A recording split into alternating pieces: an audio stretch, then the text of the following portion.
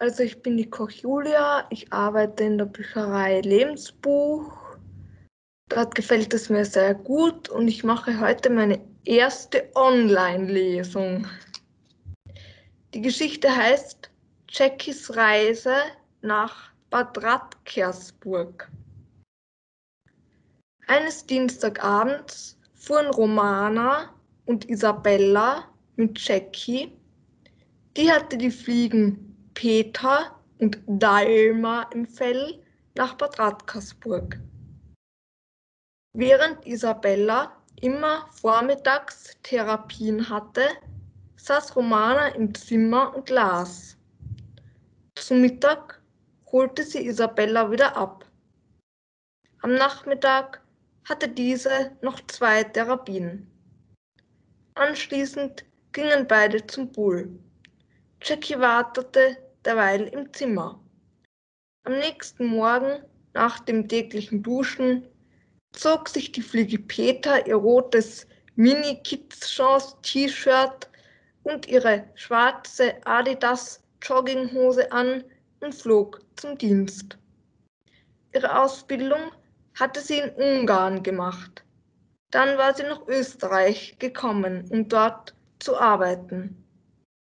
Das Problem war, dass es mit der Bezahlung in Ungarn schlechter als in Österreich gestellt war.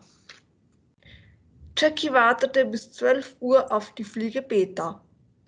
Anschließend ging sie in den Gruppenraum, um sie zur wohlverdienten Mittagspause abzuholen. Als sie die Tür öffnete, erschrak Jackie sehr. Die Fliege Peter lag verprügelt am Boden. Jackie trug sie vorsichtig ins Zimmer zurück. Anschließend kam die Fliege Dalma von ihrem Spazierflug zurück. Als sie die Fliege Peter sah, war sie natürlich ebenfalls erschrocken. Danach brachten beide die Fliege Peter ins Fliegenkrankenhaus.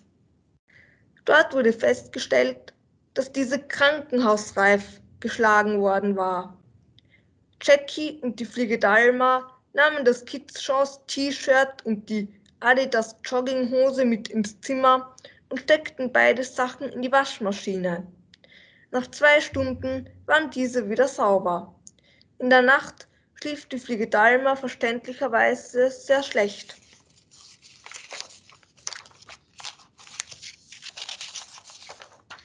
Am nächsten Tag ging Isabella mit Romana und Jackie, diese hatte die Fliege Dalma im Fell in die Stadt. Sie gingen sogar über eine Brücke nach Slowenien. Die Fliege Dalma machte sogar mit ihrem Mini-Handy ein paar Fotos und schickte sie der Fliege Peter per WhatsApp. Bald darauf bekam sie auch eine Nachricht zurück. Diese lautete, mir geht es wieder schlechter. Kommst du bitte mit Jackie ins Fliegenkrankenhaus? Dalma schrieb ihr schnell zurück. Natürlich, wir kommen sofort. Die Fliege Peter antwortete mit folgender Nachricht. Danke, Baby. Jackie rannte mit der Fliege Dalma im Feld zum Fliegenkrankenhaus. Der Anblick war einfach nur schrecklich. Die Fliege Peter lag blass im Krankenbett hatte das Krankenhausnachthemd im Mini-Format an und bekam Mini-Infusionen. Die Fliege Dalma war natürlich sehr besorgt. Kommenden Montag durfte die Fliege Peter wieder aus dem Fliegenkrankenhaus. Ab diesem Tag konnte sie endlich wieder ihr Kids Chance T-Shirt und ihre Adidas Jogginghose anziehen. Darüber freute sie sich natürlich sehr. Am nächsten Tag gegen Mittag war die Krönung. Das war das Abschlussritual des Therapieaufenthaltes. Isabella bekam eine Stoffkrone aufgesetzt, ein Zepter in die Hand und eine Urkunde mit ihrem Namen und Fotos darauf. Danach sangen die Therapeuten das Krönungslied.